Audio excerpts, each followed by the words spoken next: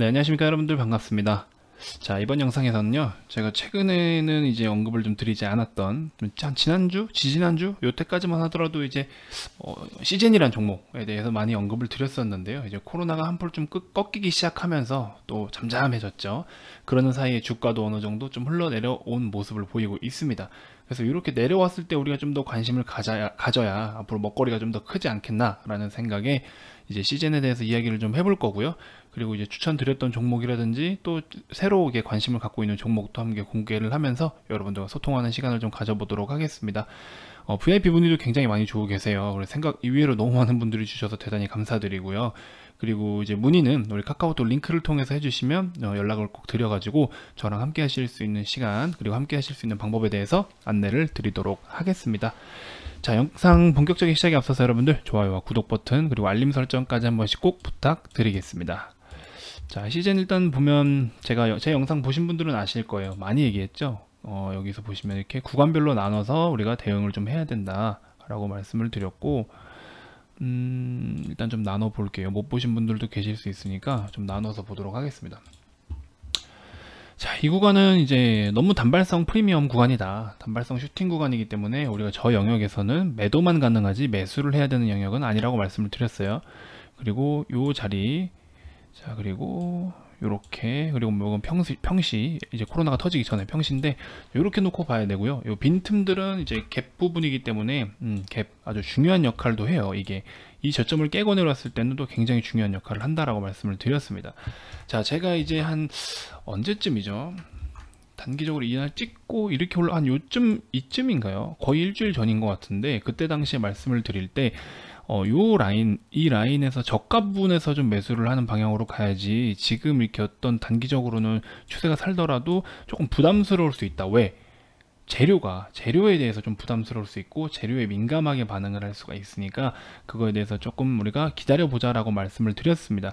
그래서 일단 코로나가 우리가 터지기 전에 어, 여기가 1번 구간이라 치고요. 그 다음에 코로나가 한번 터지면서 이제 2번 구간, 그 다음에 어떤 이제 테마성 플러스 실적 플러스 기대감 뭐 이런 것들이 다 껴서 이제 3번, 4번까지 갔는데 4번은 어차피 좀 전에 말씀드린 것처럼 매도의 영역이다. 그 이제 3번 같은 경우 제가 봤을 때는 코로나가 빨리 꺼졌더라면 3번에서 2번 밸류까지도 주가가 하락할 수도 있는 위험이 있었어요. 뭐 위험이라고 하긴 좀 그런데 어쨌든 그런 위험이 좀 있었어요. 근데 심지어 코로나가 빨리 꺼졌으면은 이 정도까지 올라가지도 않았겠죠. 그렇죠? 그래서 지금 제가 봤을 때는 어 이제 일단 요 단기 저점, 단기적인 저점 요 구간 한 82,000원 선 정도를 좀 지지를 해주는지 체크를 해보시면 일단 좋을 것 같아요. 일본 기준으로.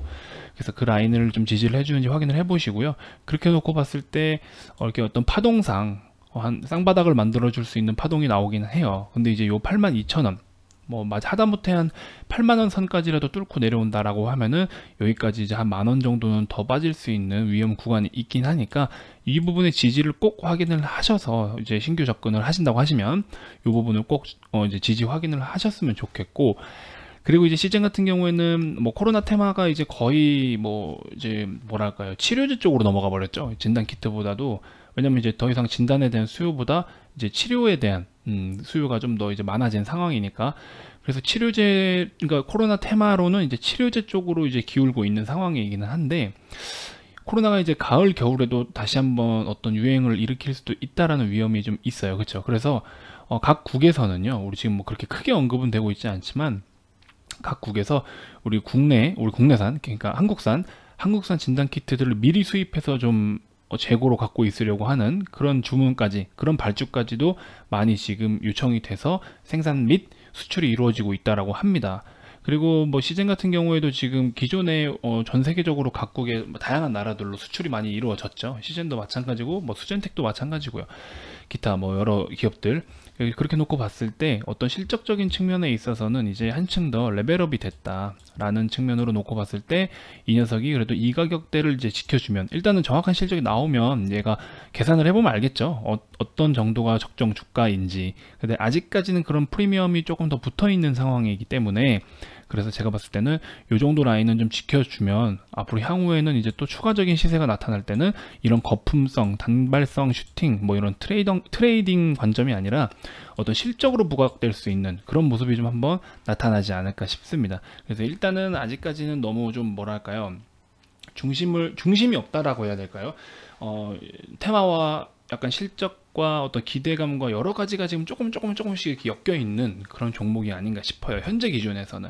그래서 지금은 약간 이도 저도 아닌 상황 같은데 어, 어떤 한 번 더 이제 실적적인 부분이 언급이 되면은 이 녀석은 여기를 쌍바닥을 기점으로 해서 한 번 더 반등이 나와줄 수도 있고요. 근데 일단은 여기 지지하는 모습을 한 번 더 확인을 해줄 필요는 있을 것 같고 어떤 지금 현재 시즌이 놀아야 되는 그 틀 안에서는 그래도 좀 단기적인 바닥권이라고는 볼 수 있으나 여기를 깨고 내려갈 때는 그 다음에 고점 부근인 이 부근까지 72,000원 선까지는 좀 열어놓고 봐야 된다라는 말씀 꼭 드리고 싶었습니다.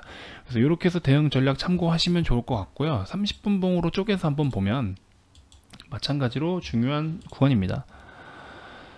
지금 이 정도 가격대 어, 8만 요, 맞죠? 8만 2천 원 구간대네요. 8만 2천 원 구간대가 지금 굉장히 또 중요한 자리이긴 하니까 어, 근데 이제 어떤 단기적으로는 이렇게 올라타주는 모습은 보였는데 오늘 일봉이 이제 빨간 봉을 만들었잖아요. 그죠?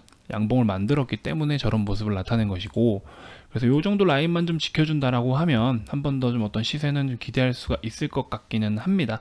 근데 일단은 저항은 8만원 한 후반대가 저항으로 작용을 할 수 있어요. 그래서 여기도 또 어떻게 돌파한지를 확인을 해봐야 되는데 어, 일단 그건 조금 지켜봐야 될 것 같습니다. 그래서 제가 처음에 찝어드렸던 일봉에서 그런 기준점들에 따라서 이제 지지 여부를 확인하고 뭐 접근을 하신다면 이제 그 다음 접근하는 목표는 여러분들 뭐 단기 테마성이 아니라 어떤 실적적인 측면으로 접근을 하시는 거겠죠. 그런 명목으로 그래서 그런 거 좀 참고하시면 좋을 것 같고요. 그리고 제가 이제 추천을 좀 드리려는 종목 어제 일단 제가 말씀드렸던 거는 HDC 이 종목 지금 어 60선 정도였는데 60선을 지지하는지를 확인을 했어야 했어요. 근데 오늘 이제 시가가 밑으로 빠졌기 때문에 이거는 굳이 매수를 할 필요가 없는 상황이었죠. 그쵸?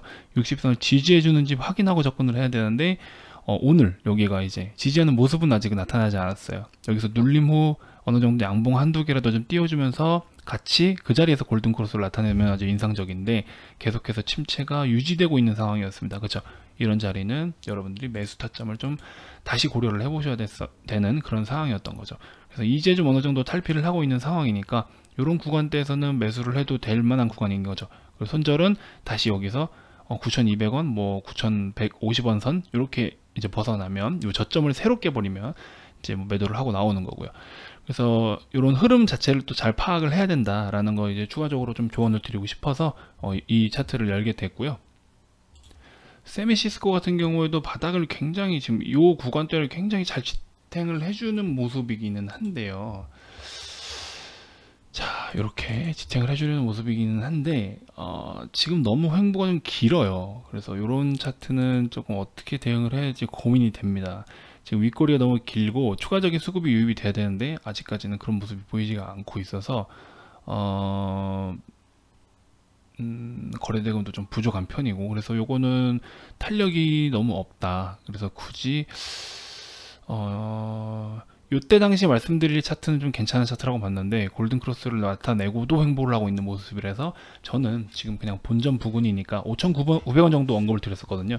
본전 부근이니까 그냥 어, 나와도 될 것 같다라는 생각이 들어요. 굳이 지금 힘이 너무 없어서. 그리고 스토캐스틱은 점점 부담스러운 자리로 가고 있기 때문에 그래서 그런 부분 참고하시면 될 것 같고요. 어 그리고 어, 이제 노터스라는 종목이 오늘 갑자기 슈팅이 좀 나왔어요 좀 전에 노터스라는 종목이 좀 전에 이제 슈팅이 나와줬는데 이 종목은 일봉 차트로도 굉장히 좋다고 말씀을 드렸습니다. 그래서 일봉으로도 지금 저항이 그렇게 많지는 않아서 한 2만 3천 원대까지만 좀 올라와 주면 굉장히 좀 어, 좋은 시세를 추가적으로 만들어낼 수 있을 것 같고 이렇게 음봉 3개인데 거기서 지지를 받고 확인하는 모습 때문에 저는 굉장히 인상적이었고요. 뭐 그 전부터 보여는 하긴 했습니다. 사실 스윙으로. 그래서 이 종목 같은 경우도 추천을 좀 했었고 보시면 이제 4월 27일이거든요. 여기 날짜가 좀안 나와 있긴 한데 어, 2만원 부근에서 1차 매수가 가능하다. 그리고 분할 매수로 접근하자. 스윙이기 때문에 그렇게 언급을 한번 드렸었고요. 어, 그리고 노터스를 이렇게 오늘 음, 제가 팔지는 말라고 했어요 사실. 근데 팔아버리더라고요. 팔지 말라 했는데 본인은 그냥 여기에서 만족을 하시나 봅니다. 그래서 어, 일단은 매도 처리가 됐습니다. 저분만 매도 처리가 된 것 같아요. 노터스 그렇게 매도 처리가 됐고 나머지 뭐 이제 신규 신규로 좀 볼만한 종목들 제가 봤을 때는 이제 어, 할인 어제도 한번 말씀을 드렸는데요. 음, 지금 한 15분 봉상의 60분 지지. 요 정도 라인 있잖아요. 3030원 뭐 3050원. 요 정도 지지해 주는지 확인 한번 해보시면 좋을 것 같고요. 스토캐스틱 참고하시면 좋을 것 같고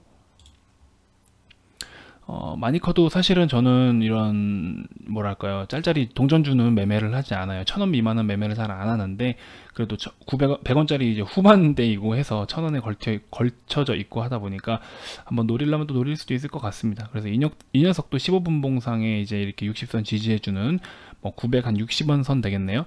이 정도 라인 좀 지지해주는지 확인해보면 또 단기적으로도 접근이 가능할 것 같아요. 아직은 또 재료가 있는 부분이니까 그래서 이런 종목들도 같이 한번 살펴보시면 좋을 것 같습니다. 어, 일단은 이번 영상에서는 이 정도만 좀 말씀을 드리겠고요. 음, 여러분들도 참고하셔서 좋은 성과 있으셨으면 좋겠습니다. 그리고 이제 시장에 대해서도 제가 매 영상마다 거의 말씀을 드리는 것 같은데 이제는 조금 다르게 봐야 될 시간이 오지 않았나 그렇게 좀 생각이 듭니다. 그래서 그 관련해서는 제가 다음 영상에서 한번 준비를 해서 올려드리도록 하겠습니다. 자, 이번 영상은 여기서 마무리하도록 하겠습니다. 감사합니다.